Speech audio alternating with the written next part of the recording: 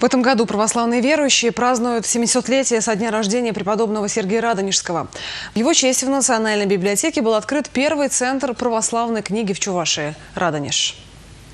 Идею о создании Центра православной книги приверженцы церкви носили не один год, но в силу обстоятельств притворили ее только сейчас. Помогли многие – сотрудники библиотеки, представители епархии и сами священники. Теперь любой, кто интересуется жизнью церкви, интересуется православной верой, может для себя найти, как говорится, из первоисточника эту информацию, из книг.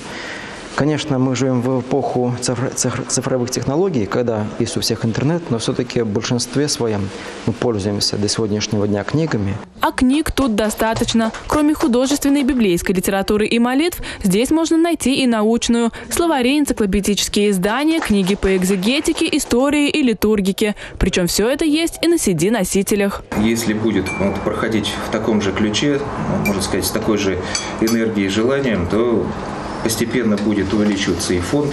Я в этом нисколько не сомневаюсь, что тысячи вот это только начало. И, и храм новомучеников обгонит.